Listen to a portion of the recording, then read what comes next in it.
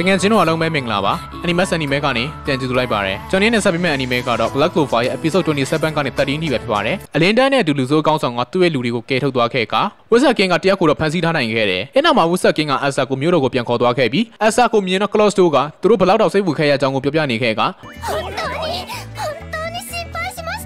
ဝက်ဆက်ကင်းကတော့ Faculio ရဲ့အခြေအနေကိုမေးတယ်အဲ့မှာ Faculio ကစေးရုံကိုရောက်နေတဲ့အကြောင်းနဲ့သူ့ရဲ့ level မှာဆွဲထားတဲ့ကြောက်တုံးကပျောက်ဆုံးသွားတာကိုသိခဲ့ရပြီးသူတို့ဖမ်းမိထားတဲ့လူနှစ်ယောက်ကိုကြောက်တုံးအကြောင်းနဲ့သူတို့ရဲ့ခေါင်းဆောင်ကဘယ်သူလဲဆိုတာကိုစစ်မေးခဲ့ပေမဲ့သူတို့စီကဘာသတင်းမှမရခဲ့ဘူးတစ်ဖက်မှာတော့လူဆိုးခေါင်းဆောင်ကဖမ်းမိသွားတဲ့သူ့ရဲ့လူနှစ်ယောက်ကိုတက်ရှင်နေတွေပြန်ခဲ့မယ်ဆိုပြီးဒဏ်ရာသွားတဲ့သူ့ရဲ့လက်ကိုကြည့်ကဝက်ဆက်ကင်းကအန်ရီအမြန်ကြောင်းပြောနေခဲ့တယ်ဒါပေမဲ့သူကလူဝင်အားစုပြီးတော့ Clover တိုင်းမျိုးကိုလက်စားချိပြီးနိုင်ငံအသစ်ကိုထူထောင်မယ်လို့သူ့ရဲ့လူတွေနဲ့အတူကြုံဝလိုက်တယ် Black Bull Scam မှာတော့ Shami က Esther တို့ကိုမျိုးတော်ကိစ္စနဲ့ပတ်သက်ပြီးတော်တယ်လို့ချီးကျူးနေခဲ့တယ်ပြီးတော့ Esther ကိုဒဏ်ရာတွေပျောက်ကင်းအောင်လို့နားရက်ပေးခဲ့ပြီးအဲ့မှာ Finnery ကနားရသွားတဲ့ Asta ကိုသူနဲ့အတူ Misako သွားဖို့ဖိတ်ခေါ်ခဲ့တယ်။နောက်နေ့ရောက်တော့ Finnery Asta နဲ့ Latto က Misako တူသွားခဲ့ပြီး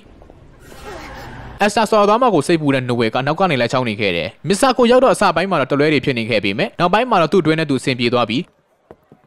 အက်စတာလည်းရီဘက်ကာလို့ခေါ်တဲ့ကောင်မလေးနဲ့စကားကြီးကောင်းနေခဲ့တယ်။အက်စတာကိုလိုက်ချောင်းနေတဲ့နိုဝယ်လည်းအဲ့ဒါကိုကြည့်ပြီးတဝင်းနေတူနေခဲ့ကအဲ့မှာအက်စတာကရီဘက်ကာကိုအမှုသမားတွေရန်ကနေကောက်ွယ်ပေးခဲ့တယ်။ အဲ့ဒါကြောင့် Rebecca လည်း Esther ကိုကြွေသားခဲ့ပြီးအပြင်ကိုရောက်တော့ Rebecca က Esther ကိုသူ့ရဲ့အိမ်ကိုလိုက်လည်ဖို့ဖိတ်ခေါ်တယ်။နောက်နေ့ရောက်တော့ Esther နဲ့ Juno ကသူတို့ရဲ့လာစာတွေကိုချက်ချောင်းစီပြန်ပို့ပေးခဲ့ပြီးသူတို့ယာရုတိုးတဲ့အကြောင်းကိုလည်းပြောပြခဲ့တယ်။ Claus ကတော့ Juno ယာရုတိုးတာကိုကွန်ပျူတာအနေနဲ့မုံဘိုးတွေပေးခဲ့ပြီး Black Book Scan မှာတော့လာစာထုတ်တဲ့အထိမ်းအမှတ်အနေနဲ့ယာမီကအကုန်လုံးကိုနားရက်ပေးခဲ့တယ်။အဲ့မှာ Esther က Rebecca စီသွားဖို့အတွက်မကနာကိုလိုက်ဖို့ခိုင်းခဲ့ပြီး Esther ကိုကြားတဲ့ Noel လည်းထုံးစံအတိုင်းနောက်ရောက်ခံလိုက်တယ်။တစ်ဖက်မှာတော့ပိတ်ရရသွားလို့သူညမစီသွားတဲ့ Gosh ကညီမဖြစ်သူတော့လက်ဆောင်တွေအများကြီးဝယ်ပေးခဲ့ပြီးသူညမတွေ့ရင်ဘလောက်တောင်ပြောနေမလဲဆိုပြီးတွေးကနှာခေါင်းသွေးတွေရှက်နေခဲ့တယ်။ညီမစီကိုကြောက်တော့အက်ဆာနဲ့ပျော်နေတာကိုတွေ့ပြီးဒေါသထွက်ကအက်ဆာကိုတက်နေတယ်။အမှန်အက်ဆာလည်းသူကရီဘက်ကစီအလဲလာတာဖြစ်ပြီးမာရီကဂေါ့ရဲ့ညီမဖြစ်မှန်မသိတဲ့အကြောင်းကိုပြောပြခဲ့တယ်။ဒါပေမဲ့ဂေါ့ကဆက်နေနေတာကြောင့်မာရီကအက်ဆာဟာသူယူမဲ့ယောက်ျားမို့လို့မနှင်းနဲ့လို့ပြောလိုက်ပြီးအစကားကိုကြားတဲ့ဂေါ့လည်းတကယ်ကြီးကြည်ခွဲသွားခဲ့တယ်။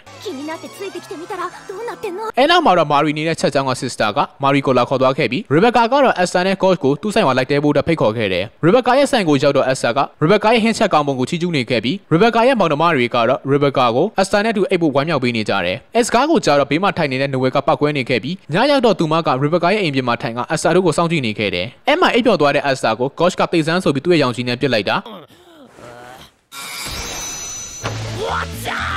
အဆာနှာခေါင်းကမီးလောင်သွားခဲ့ပြီးဂေါရှ်ရဲ့အကွက်တွေကိုခုခံကအိမ်ပြင်ကိုလွတ်ထွက်သွားခဲ့တယ်